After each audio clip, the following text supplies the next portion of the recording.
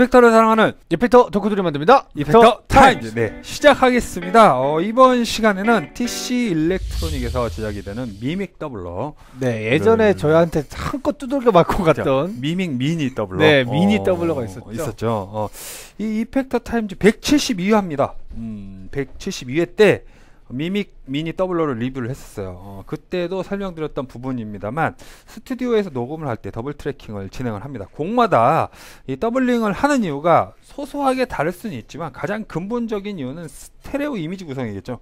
어, 이 컴퓨터 같은 연주자가 아무리 정교하게 같은 리번, riff를 두 번을 연주하더라도 사람이 연주하는지라 이게 타이밍이나 attack, 피치의 미세한 차이가 발생을 합니다.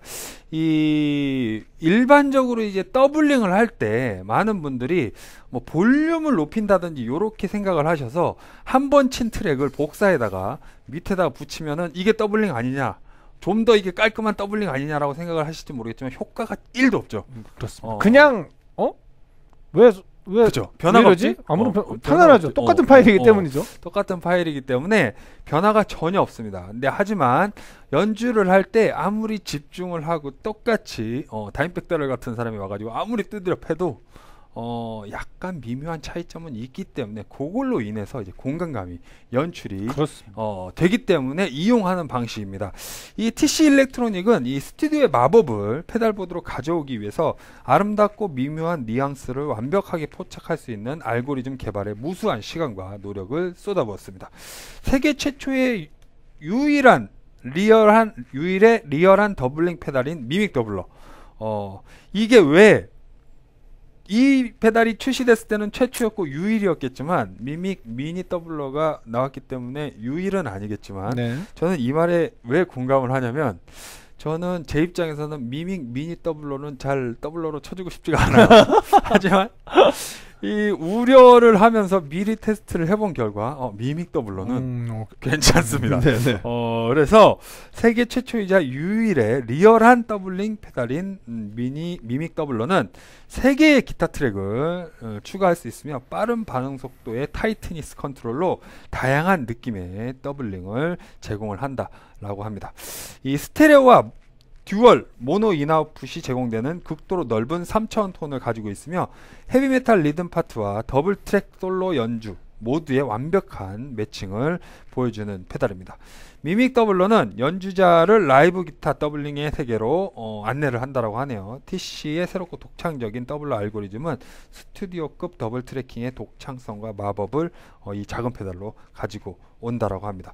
이 솔로를 할 때도 음, doubling을 하는 경우가 간혹 있잖아요. 간혹 있죠. 음, 간혹 있고 아니면 조금은 다른 얘기긴 하지만 어 가장 어떻게 보면 이렇게 뭐라 그럴까요? 좀 촌스러운 말로 트윈 기타. 음. 어 엑스제팬 같은 경우에 솔로가 항상 보면 그렇죠. 어 이렇게 어 화성으로 그렇죠 화성으로 어, 이렇게 가잖아요. 어, 그래서 그런 거랑은 조금은 다른 의미긴 하겠지만 어, 솔로를 할 때도 어, 마치 더블링을 한 듯한 효과를 볼 수가 있다라고 하니까 저희가 오늘은 굉장히 많은 리프들을 들려드리면서 그렇습니다.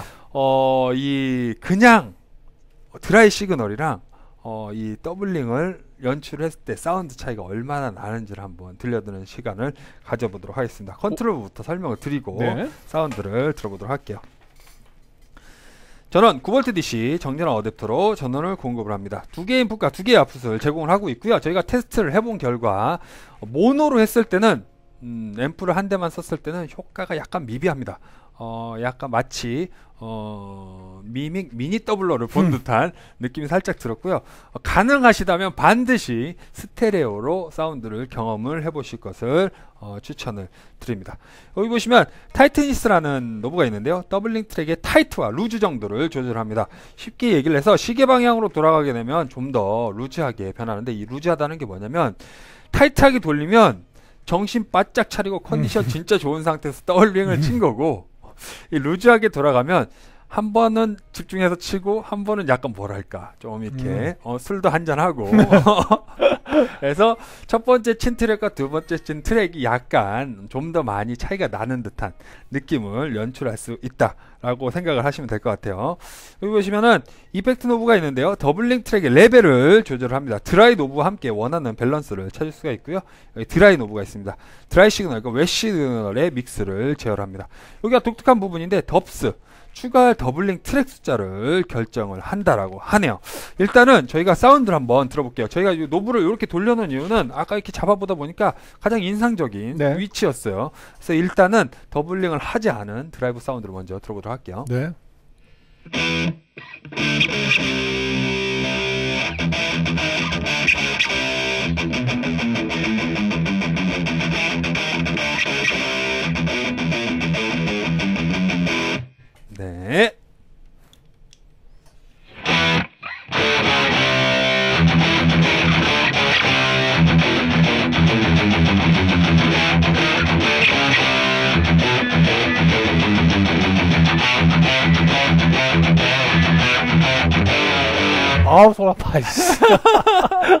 그렇습니다. 제임스 해트필드와 커크헤미 씨 동시에 어, 저희 버즈비 TV를 방문을 해주셨는데 어, 느낌이 확실히 네, 있네요. 더블 그 미믹 미니보다 음. 확실히 음. 확실히 네, 좀 있어요. 어, 차이가 있습니다. 뭐 다른 곡으로 한번 또 네. 들어볼까요?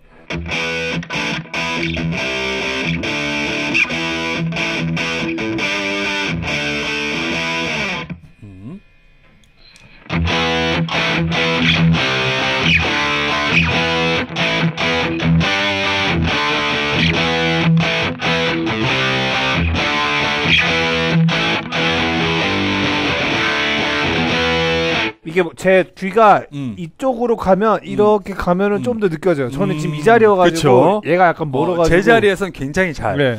들립니다. 요렇게 한번 가볼게요. 저희가 많이 루즈하게 해서 어, 컨디션이 좋았을 때 은총 씨와 음. 술 먹은 은총 씨가 같이 연주하는 듯한 느낌을 한번 어, 들어보도록 할게요. 일단은 네.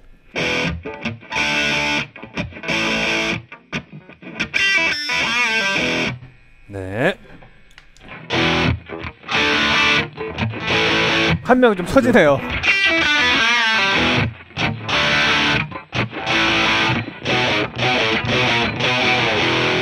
어, 근데 이 뭐냐면 그 따라라라라라 할 때는 이렇게 갈라 놓으니까 음. 어, 매력 있네. 한 번만 네. 더. 어, 어, 이런 이런 매력이. 다음은 타이테니스를 조금 더 에, 컨디션이 비슷한 상태로 어, 만들어서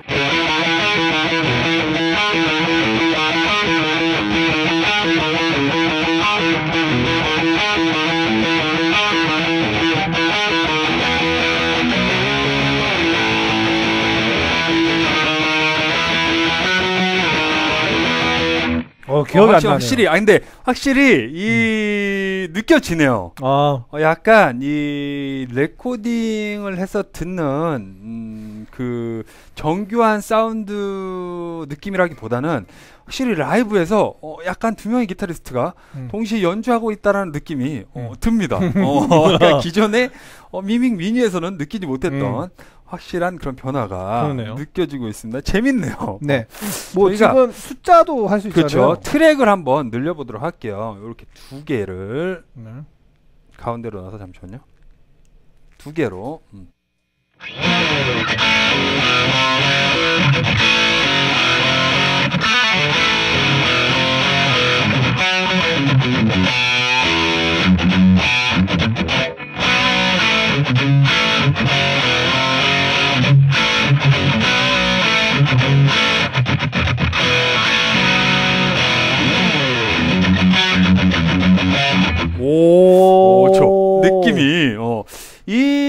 이렇게 쓰셔야 될 것 같아요. 지금 요 지금 이 더블 트랙을 두 개를 더했을 때까지는 어느 정도 loose하게 풀어도 문제가 안 될 것 같습니다. 사운드 한번 들어볼게요.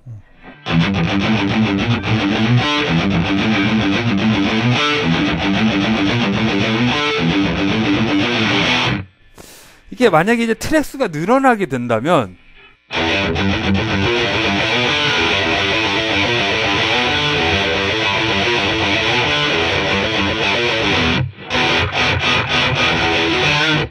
살살살살 드디어 이렇게 조금 거슬리는 멤버가 음, 생기기 시작하는 음, 거죠. 네네. 그랬을 때 이렇게 좀 더 타이트하게 조여주면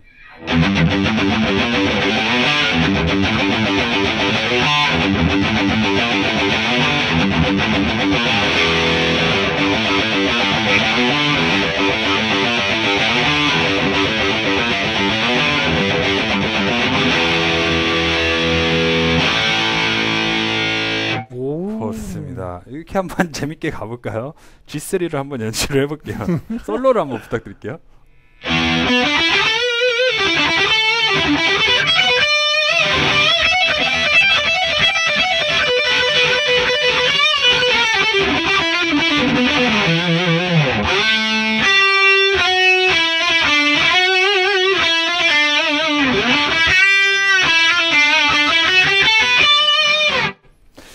이게 음. 껐을 때는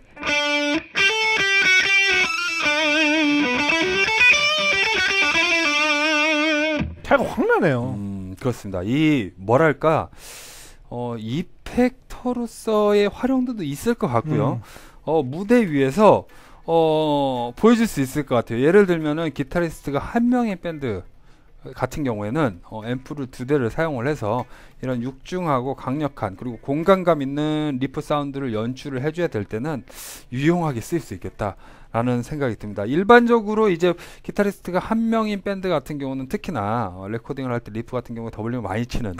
어, 상황인데 그랬을 때 이제 무대에 올라갔을 때 뭐 다양한 방법들이 있겠지만 어, 단순히 앰프를 두 대를 써서 사운드를 나눠 가지고 어, 무대를 채우는 연주자들도 있겠지만 요렇게 약간 미묘하게 어, 정말 공간감을 내주기 위해서 이 스테레오 사운드를 연출해 줄 수 있는 effector가 아니었나 어, 라고 생각을 가져봅니다. 네, 좋네요. 어, 괜찮네요. 네, 어, 얘는 지금 그리고 이게 음. 마지막으로 네. 형님 한번 수 있나요? 네, 약간 꺼져 있습니다. 아. 음. 타이트하게 해가지고서는 네.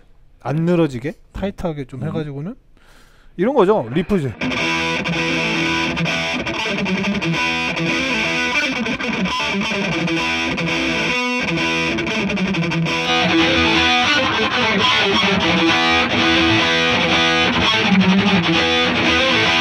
뭐 이런 식으로 음. 박 이제 곡에서 곡이 넘어갈 때 뭐 이렇게 그렇죠. 순간적으로 밟아가지고 이제 팍 하는 거죠. 음, 음. 그래가지고 야 이렇게 하는 거죠.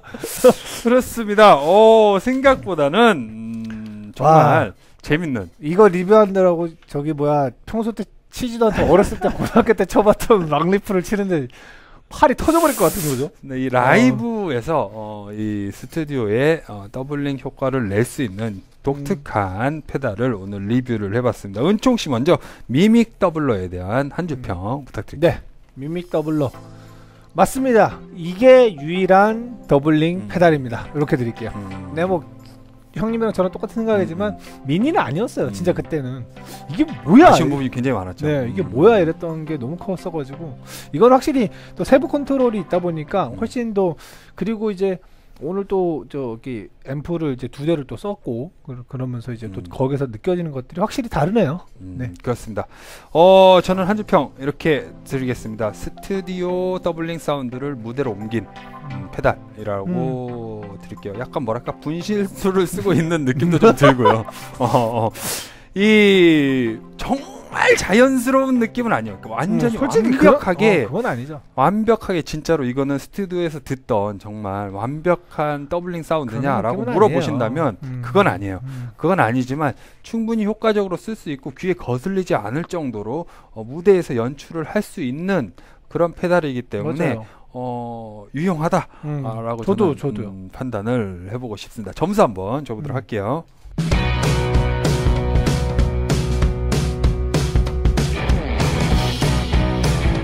하나, 둘, 셋.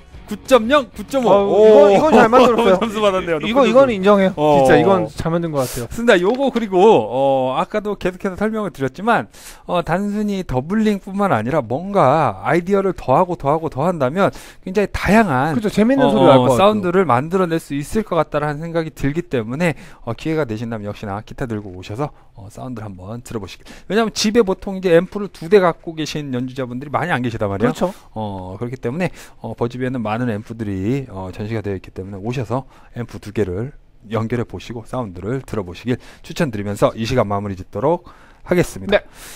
이펙터를 사랑하는 이펙터 덕후들이 만듭니다. 이펙터 타임즈. 네, 다음 시간에 뵙겠습니다. 감사합니다.